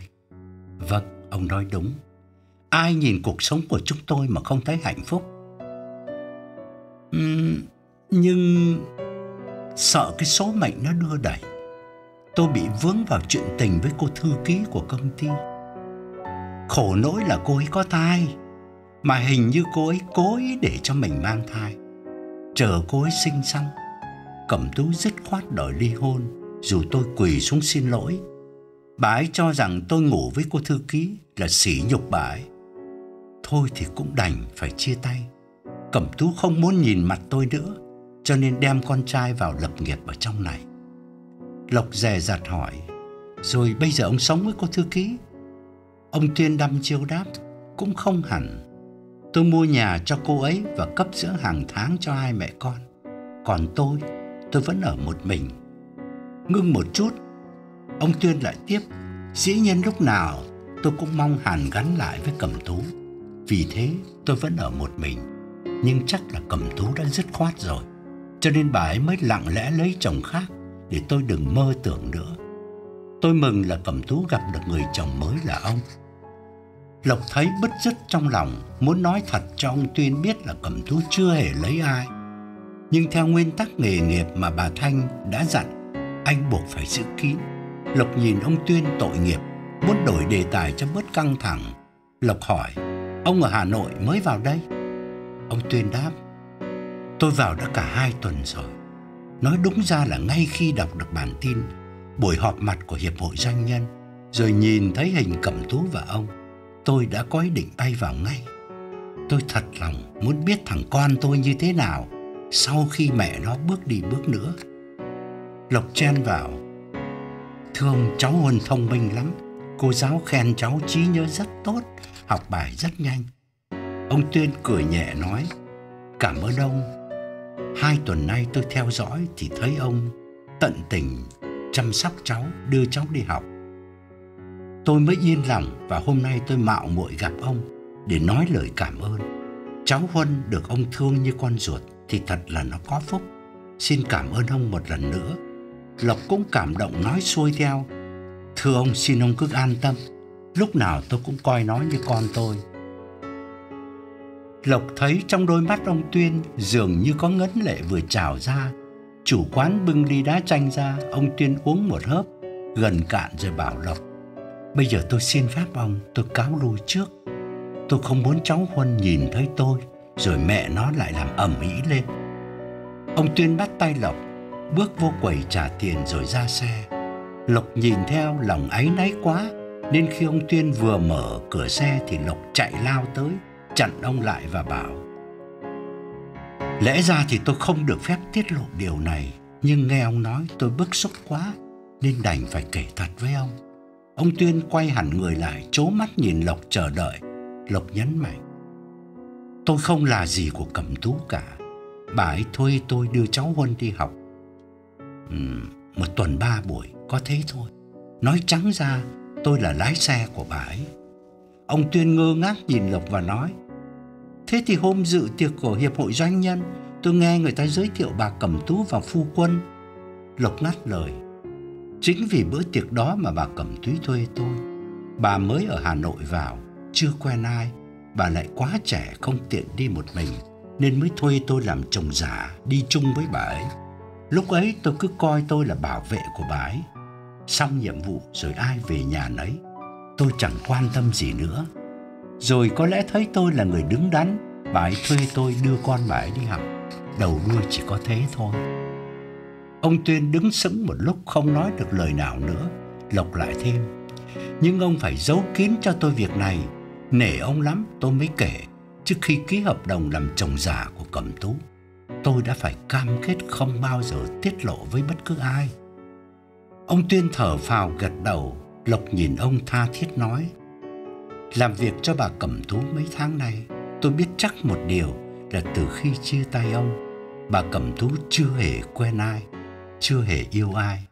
Hay là ông thử cố nối lại duyên xưa xem thế nào. Ông Tuyên đứng thẫn thờ một lúc nữa, rồi cảm động bắt tay Lộc và nói Cảm ơn ông rất nhiều. Nếu định mệnh cho tôi trở lại được với Cẩm Tú, tôi không bao giờ quên ơn ông. Phải nói thật là trên đời ít có người tốt như ông. Lộc gật đầu nói nhỏ, ông phải cố gắng lên. Chúc ông may mắn. Rồi Lộc đứng nhìn theo chiếc xe nhỏ của ông Tuyên lăn bánh trên con phố đã bắt đầu mở tối. Đến giờ này, Lộc mới hiểu ra rằng sở dĩ Cẩm Tú đưa hình của nàng với Lộc lên mạng là cố ý để ông Tuyên tưởng nàng đã lấy chồng khác rồi. Lộc về đến nhà Cẩm Tú khoảng 9 giờ rưỡi. Bình thường anh để thằng Huân xuống ở ngoài sân, anh cho xe hơi vào garage rồi lấy Honda phóng về nhà mình. Nhưng tối nay thứ sáu, Lộc lanh quanh nán lại. Anh ngại gõ cửa vào nhà gặp Cẩm Tú nên ngồi tạm ngoài bậc tam cấp trước mảnh sân gạch có những chậu cây cảnh cắt tỉa rất công phu. Anh ngồi khoảng 10 phút thì có người làm đẩy cửa bước ra và ngạc nhiên kêu lên. Ố, anh Lộc, tưởng anh về rồi chứ. Anh anh chờ bà chủ em hả? Sao không vào nhà ngồi? Lộc chẳng biết nói sao, cô người làm tên Liên theo Cẩm Tú từ Hà Nội vào đây. Tuy mới biết Lộc có mấy tháng nhưng rất thân tình vì cô biết Lộc là người mà bà chủ tin tưởng. Cô lại hỏi. Anh uống cà phê đá nha, em pha cho. Lộc cười buồn lắc đầu. uống nhiều quá rồi, từ sáng đến giờ chắc 5 ly rồi. Trong nhà Cẩm Tú nghe tiếng nói chuyện ngoài sân, đẩy cửa bước ra, ngạc nhiên thấy Lộc vẫn còn ngồi trên bậc thềm, vốn là người bén nhạy. Nàng hỏi: "Ơ, anh chưa về à? Hay là anh cần anh cần tôi giúp cho anh chuyện gì?" Lộc lưỡng lự một chút rồi đứng dậy nói: Gọi là có chuyện thì cũng không đúng, nhưng nếu chị rảnh thì tôi làm phiền chị một chút. Cẩm Tú không trả lời, nàng bước xuống sân, đi nhanh lại cái bàn đá ở góc sân và ngồi xuống cái ghế mây. Đây là giang sơn thơ mộng mà Cẩm Tú thường dùng để tiếp khách ngoài sân những buổi chiều mát hay ban đêm. Cây ngọc lan bên cạnh ngập hoa trắng đang tỏa hương thơm ngát Chiều nay ở công ty về, Cẩm Tú đã thay bộ đồ rộng, màu mỡ gà thoải mái hơn và cột mái tóc bằng sợi dây vải màu tím. Hôm nay nàng rất vui vì vừa ký được một cái hợp đồng quan trọng cung cấp bánh kẹo dài hạn cho một hệ thống siêu thị có tiếng ở Canada. Cô người làm chạy theo Cẩm Tú và đề nghị: "Mợ ơi, mợ uống ờ, chè mặn sen với bánh quế nhé." Cẩm Tú gật đầu, chờ cô đi vào nhà, Lộc mới rón rén ngồi xuống cái ghế mây đối diện Cẩm Tú. Trong lòng đang vui, Cẩm Tú nhập đề, hỏi Lộc. Nào, chuyện gì thì anh nói đi. Lộc đã sắp sẵn trong đầu nên anh nói ngay. Tôi kể chị nghe chuyện này, chị thích nghe thì nghe, chị không thích nghe thì chị bảo tôi ngưng. Nhưng chị không được giận tôi, vì tôi không có ý xấu. Cẩm Tú cười đáp. Tôi biết tính anh mà. Tôi coi anh như là người trong gia đình á, vì tôi biết anh không phải là người xấu. Điều này Cẩm Tú nói rất thật. Cách đây mấy tháng, nàng đọc trên báo công an bản tin một nhóm côn đồ bắt cóc đứa con đại gia để đòi tiền chuộc. Cô người làm cũng đọc được mẩu tin ấy, nên cả chủ lẫn tớ đều run lên bần bật. Khi gặp Lộc, làm việc và tiếp xúc với Lộc, Cẩm Tú thấy Lộc có thể tin được, nàng mới quyết định giao thằng con cho Lộc đưa đi đón về. Đi bằng xe nhà dù sao cũng an toàn hơn đi taxi. Lộc còn đang đắn đo tìm cách nhập đề thì Cẩm Tú lại hỏi đùa. Anh tính mượn tiền của tôi hay sao mà cứ rào trước đón sau kinh thế? Càng ngày Lộc càng nhận ra thái độ thân thiện và thoải mái ở Cẩm Tú dành cho anh. Một phần do bản tính đàng hoàng của Lộc và một phần do sự quấn quýt của đứa con trai dành cho chú Lộc. Thứ hai, thứ tư, thứ sáu Lộc thường đến nhà Cẩm Tú sớm hơn để kiểm tra bài vở của thằng Huân trước khi đưa nó đến lớp. Những chuyện nho nhỏ ấy làm Cẩm Tú rất dễ cảm động. Chưa kể cô người làm luôn miệng ca ngợi tư cách của Lộc. Anh không dám mơ, nhưng nhiều lúc có thoáng nghĩ đến nỗi cô đơn của Cẩm Tú trong căn nhà thanh tang dư thừa tiện nghi. Theo đề nghị của Cẩm Tú, những ngày Chúa Nhật nhàn rỗi, Lộc cũng hay đến nhà nàng đưa con trai đi chơi nguyên ngày ở thảo cầm viên hay sở thú hoặc đi xem phim thiếu nhi. Chiều về nàng rủ anh ở lại ăn cơm. Anh mới thấy căn biệt thự trống trải quá, lạnh lẽo quá, chỉ có hai mẹ con nàng thui thủi ra vào. Cô người làm rất vui tính và nói nhiều, nhưng chắc cũng không thể khỏa lấp được nỗi quạnh hiu của gia chủ. Nghe nhắc đến tiền, Lộc ngượng cười bảo. À, sẽ có lúc tôi phải mượn tiền chị, nhưng không phải hôm nay. Hôm nay tôi có chuyện quan trọng hơn. Cẩm tú lại cười. Làm gì có cái chuyện nào mà quan trọng hơn chuyện tiền? Lộc nghiêng cham đáp. Tôi cứ tưởng tình quan trọng hơn tiền chứ chị. Nhất là đối với một người không thiếu tiền như chị. Cẩm tú giật mình nhìn Lộc. Không lẽ Lộc dám tỏ tình với nàng? Một người không thiếu tiền như chị, phải chăng Lộc có ý nói Cẩm tú chỉ thiếu tình? Dĩ nhiên Cẩm tú rất cô đơn, có Lộc làm bạn cũng đỡ chống trải. Huống chi con trai nàng lại cũng rất mến Lộc. Nhưng Lộc ngỏ lời bây giờ thì Lộc đi quá nhanh, Cẩm Tú không biết sẽ trả lời như thế nào. Cẩm Tú nhìn Lộc chờ đợi. Lộc chậm rãi lên tiếng. Chiều nay lúc cháu Huân vào học, tôi ra quán ngồi uống cà phê. Tình cờ tôi gặp lại một ông bạn. Nói chuyện lanh quanh một hồi, tôi mới phát hiện ra ông ấy là bạn rất thân với ông Tuyên, chồng cũ của chị.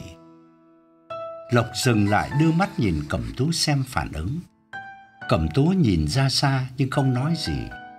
Nàng cứ tưởng Lộc tỏ tình với nàng, hóa ra là nói chuyện của người khác. Lộc nói tiếp. Tôi chưa biết mặt ông chồng cũ của chị. Nhưng thằng bạn tôi bảo anh chị đẹp đôi lắm. Anh chị đổ vỡ bạn bè ai cũng tiếc. Cẩm Tú đột ngột ngắt lời. Anh mới gặp ông Tuyên chồng tôi phải không? Anh làm gì có ông bạn nào mà quen với ông Tuyên? Ông ấy tìm anh chứ gì? Lộc kinh hãi ua đáp. Sao chị biết? Chị giỏi thật, chẳng có chuyện gì tôi qua mắt được chị. Cầm tú buồn rầu nói. Là bởi vì nếu mà tôi có trốn lên rừng hay là xuống biển, ông ấy cũng vẫn cho người theo dõi. Ông ấy có tiền mà anh. Có phải là ông ấy nhờ anh nói với tôi không? Lộc nghiêng cham đáp. Ông ấy không nhờ tôi bất cứ chuyện gì. Nhờ làm sao được khi ông ấy yên chí là chị đã lấy chồng khác rồi. Ông ấy xem được bản tin bữa tiệc của Hiệp hội Doanh nhân nên tưởng tôi là chồng mới của chị. Ông ấy đến bắt tay và chúc mừng tôi. Tôi đành phải thú nhận tôi chỉ là lái xe của chị thôi. Tôi xin lỗi chị, đáng lẽ tôi không được tiết lộ điều này. Nhưng thú thật với chị, tác phong của ông Tuyên làm tôi có thiện cảm và vì thế tôi xúi ông ấy hàn gắn với chị. Lộc vừa dứt lời thì cô người làm bưng khay trà ra. Cô định rót ra tách nhưng Cẩm Tú ngăn lại bảo. Để cho nó ngấm trà đã con, để nó đi. Cô người làm đứng sớ rớ bên cạnh xem Cẩm Tú có sai bảo gì không. Nhưng Cẩm Tú nói. Con vào nhà đi, mợ có chuyện riêng nói chuyện với anh Lộc. Cẩm Tú rót trà ra hai cái tách trắng men trắng. Nàng uống một hớp nhỏ rồi đặt ly xuống và nhìn mông lung ra mảnh sân trước mặt. Lộc chẳng biết tâm trạng của Cẩm Tú lúc này thế nào, cho nên anh ngồi yên. Khá lâu, Cẩm Tú mới chậm rãi nói. Anh biết không, báo chí và truyền hình Hà Nội ngày ấy gọi tôi là Hoa Khôi Doanh Nhân. À, tôi ngây ngan hãnh diện về cái sự thành công của mình. Bỗng dưng một hôm, cô thư ký của công ty đến thẳng gặp tôi, thú nhận là đã có thai với chồng tôi. Thà là nó giấu giếm quanh co, chứng tỏ là nó còn sợ tôi, thì tôi còn cảm thấy đỡ nhục. Đằng này, nó ngang nhiên xông thẳng vào phòng tôi, oang oang khoe cái bụng bầu trước mặt tôi, trước bao nhiêu nhân viên của tôi cũng như công nhân của tôi. Ai cũng nhìn tôi bằng một cái ánh mắt hết sức thương hại. Thì anh cứ thử nghĩ mà xem, tôi còn mặt mũi nào mà sống trên đất bắc nữa? Cẩm tú càng nói, giọng càng gay gắt. Lộc không biết phản ứng thế nào. Nghe ông tuyên kể, lộc xúc động thương ông tuyên. Giờ nghe Cẩm Tú kể, Lộc lại xoay chiều tội nghiệp Cẩm Tú. Anh định nói vài lời xin lỗi Cẩm Tú, nhưng anh chưa kịp lên tiếng thì Cẩm Tú đã nói như mắng vào mặt anh. Ở đời á, lúc nào cũng có những người mơ ước hão huyền. Anh có gặp ông chồng cũ của tôi đó, nhờ anh nhắn lại với ông ấy một câu là nếu ông ấy có muốn tái ngộ với tôi á thì đợi đến kiếp sau. Dứt lời Cẩm Tú đứng dậy bỏ vào nhà. Lộc chẳng biết phản làm gì. Anh ngồi thử người, hững hở bưng tách trà lên nhưng không uống. Một phút sau anh lại đặt tách trà xuống, tựa lưng ra thành ghế, ngửa mặt nhìn lên bầu trời đầy sao. Anh nói dùm ông Tuyên, để hàn gắn hai vợ chồng có thể là một quyết định sai lầm. vì nó khơi lại vết thương trong lòng Cẩm Tú. Ngồi một lúc, Lộc Toan đứng dậy ra về thì cô người làm trong nhà bước ra để dọn ấm chén. Thấy Lộc vẫn còn ngồi tại chỗ, cô ngạc nhiên hỏi: "Ơi, anh anh chưa về à?" Lộc thở mạnh và đáp gọn: "Sắp về. Em cần đi ngủ sớm hay sao mà đuổi anh?" Cô nhìn Lộc tò mò hỏi: à, "Không không, em đâu có dám đuổi anh đâu. Nhưng mà anh anh anh nói chuyện gì với mợ Cẩm Tú mà sao em thấy mợ có vẻ không vui?" Lộc đang cần người tâm sự nên vắn tắt kể chuyện gặp ông Tuyên và Lộc tự ý ngỏ lời hàn gắn dùm ông. Rồi Lộc kết luận, anh có biết gì đâu, anh chỉ nghe ông Tuyên kể, rồi thấy thái độ của ông ấy rất thành khẩn, nên anh tội nghiệp. Không ngờ anh làm bà chủ em giận. Cô người làm cảm động nói, Em phải công nhận anh là người tốt đấy. Chuyện thiên hạ, người dưng nước lã, tự dưng cũng ôm vào mình làm gì? Lộc đứng dậy, gượng cười bảo, thì bố mẹ anh cứ mắng anh dại là vì thế. Cô người làm nhìn Lộc nhấn mạnh. em cũng thấy anh dại chứ đừng nói gì bố mẹ anh. Lộc chố mắt nhìn cô người làm ngạc nhiên hỏi. Sao em lại nói thế? Cô người làm nhìn nhanh vào nhà rồi quay lại đáp. Trời ơi, mợ hận ông Tuyên lắm. Không bao giờ mà em quay lại với ông đâu. Ông Tuyên ông làm cho ba người có thai. Người đầu tiên là cô công nhân ở dưới bộ phận trộn làm bánh á. Rồi mợ phải điều đình đưa tiền cho cô để cô nghỉ. Còn người thứ hai á, là làm ở bộ phận tiếp thị. Mợ cũng đền tiền rồi cho nghỉ. Đến người thứ ba là cô thư ký. Trời ơi, cái con này nó vênh váo lắm. Bấy giờ mợ mới coi như là dứt khoát ly hôn đấy. Lộc giật mình ngồi yên. Anh quá ngượng vì cái tật nhanh nhào đoạn của mình. Chưa gì đã xúc động tội nghiệp ông Tuyên một người không đáng tội nghiệp. Ngừng một chút, lên nhấn mạnh. Nhưng mà em em hỏi anh này, mợ Cẩm Tú ấy đang thích anh, đang thích anh ấy. Tại sao anh không nói cho anh mà anh lại đi nói hộ người khác? Lộc sừng sốt kêu lên. Thật không? Em có chắc không? Làm sao em biết mợ em đang thích anh? Đừng có xui dại. Cô hạ giọng nói nhỏ hơn. Trời ơi, em đoán thế. Nhưng mà em nói thật nha, em thường đoán cái gì là đúng phóc cái đấy ấy. Vì mở mở em hay nhắc tới anh lúc mà anh không có ở đây này. Bây giờ em nói anh nha, anh cứ thử đi, cứ thử liều đi, ngỏ lời xem sao, có mất cái gì đâu. Lộc trợn mắt nhấn mạnh, mất chứ sao không? Trước tiên là mất việc, ngộ nhỡ bà chủ em không bằng lòng để tống cổ anh đi, có phải là dại không? Làm ở đây vừa nhàn vừa lương cao. Cô người làm vẫn bảo vệ ý kiến của mình, cô nói anh không anh không nghe lời em thì thôi. Nay mai à mợ em mà có người khác á anh mà hối hận thì cũng muộn lắm rồi. Lộc đắn đo một chút rồi nói.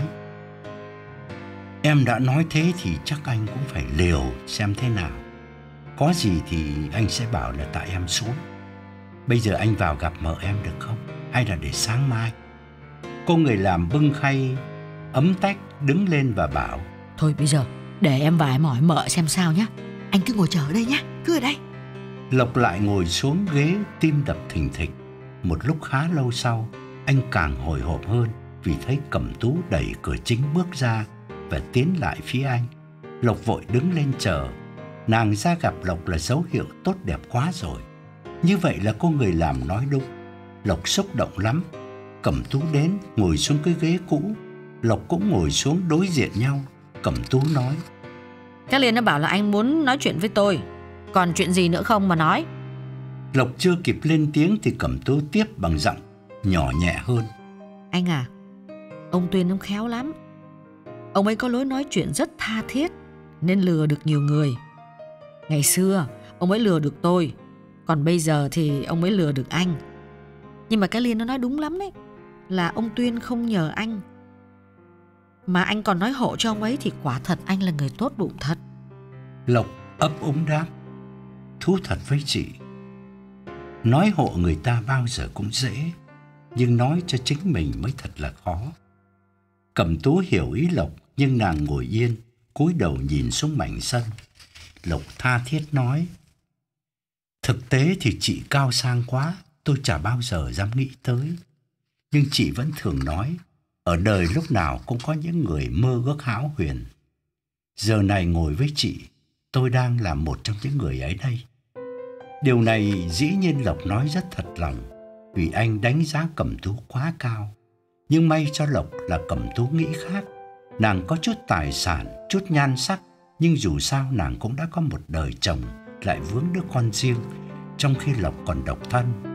Người đàn bà khi có con riêng chỉ mong gặp được người đàn ông nào thương con mình. Đối với nàng, đó là điều quan trọng nhất và nàng đã thấy ở Lộc điều đáng quý này. Lộc đang lay hoay tìm lời tỏ tình thì bất ngờ Cẩm Tú nắm lấy bàn tay anh đang đặt trên bàn và nói nhỏ. Từ nay đừng gọi em bằng chị nữa nhé. Lộc sung sướng đê mê siết chặt bàn tay Cẩm Tú. Anh nghẹn lời không nói được gì nữa bởi sự việc xảy ra quá bất ngờ, vượt tất cả mọi mong đợi của anh. Vừa lúc ấy cô người làm mở cửa chính dẫn thằng Huân ra đứng bên cạnh mẹ. Cẩm Tú vội buông tay Lộc và quay sang bảo con. Ơ, chưa đi ngủ hả con? Cô người làm đáp thay. À, ngày mai thứ bảy mà mợ. Lộc ngước lên nhìn cô, khẽ gật đầu để tỏ ý cảm ơn. Cẩm Tú cúi xuống hỏi con. Ngày mai con có muốn đi chơi Vũng Tàu với mẹ và chú Lộc không? Thằng bé nhảy lên xeo hò mừng rỡ. Cẩm Tú bảo. Thôi, vậy thì à, con vào ngủ đi nhé. Sáng mai còn dậy sớm. Cô người làm hiểu ý đưa thằng bé vào nhà để trả lại không gian riêng tư cho hai tâm hồn vừa tìm đến với nhau, kết thúc những ngày tháng cô đơn của Cẩm Tú. Lộc đứng dậy, tiến lại, ngồi xuống cái ghế bên cạnh Cẩm Tú. Lập tức Cẩm Tú nghiêng người, tựa đầu vào vai Lộc và nhắm mắt lại. Lộc xúc động thì thầm: "Anh nhớ lần đầu tiên gặp em trong hiệu kem gần công ty của bà Thanh. Lúc ấy em định thuê anh làm chồng già, Nên em hỏi anh có vợ chưa? Anh nói là không có vợ mà cũng không có người yêu. Em nói lạ nhỉ, Làm anh ngượng quá. Mà em nói đúng, Một người đàn ông 36 tuổi mà không có vợ, không có người yêu Thì đúng là lạ thật. Nhưng hôm nay anh mới thấy Đó là sự sắp đặt của định mệnh Để anh được gặp em. Cầm tú siết bàn tay Lộc Mạnh hơn và nói. Ý anh muốn nói là không phải anh ế ẩm suốt 36 năm Mà vì anh cố ý ở vậy để chờ em có phải không? Lộc mỉm cười tròn cánh tay qua lưng cẩm tú. Trong lúc đê mê ngây ngất Lộc vẫn còn đủ tỉnh táo để nghĩ nhanh đến Hiếu. Sáng mai Lộc sẽ báo tin cho Hiếu biết Để cả Hiếu và Lộc cùng trở lại cảm ơn công ty dịp cầu của bà Thanh đã giúp cho hai ông chồng giả trở thành hai ông chồng thật.